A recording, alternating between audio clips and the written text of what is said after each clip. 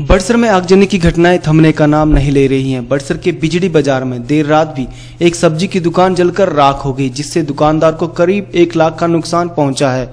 स्थानीय लोगों की सहायता से आग पर काबू पाया गया। अगर स्थानीय लोगों ने आग पर काबू समय पर नहीं पाया होता तो सारा बाज़ार आग की भेंट चढ़ जाता। पुलिस ने मामला दर्ज कर लिया है और आग लगने के कारणों की छानबीन की जा रही है, परंतु प्रशासन की ओर से अभी तक पीड़ित दुकानदार को कोई भी फौरी राहत नहीं दी है। पीड़ित दुकानदार ब्रह्मदास ने बताया कि रात को अचानक दुकान में आग लग गई।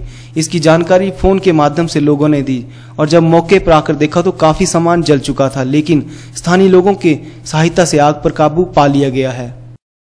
कोई पता नहीं कितने बजे आग लगी लगभग? आपको कब पता लगा? आपको कब पता लगा? डेढ़ बजे लगा रात रात डेढ़ बजे पता, पता लगा। तो प्रशासन की ओर से कोई अधिकारी आपके पास आया? आपको कोई सहायता दी? सहायता नहीं वो आए थे पुलिस वाले आए थे पटवारी आए थे। अच्छा।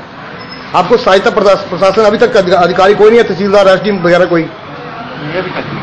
हाँ जी? अभी तक नहीं आया। अभी तक कोई नहीं आया। प्रशासन ने आपकी कोई सहायता नहीं की अभी तक?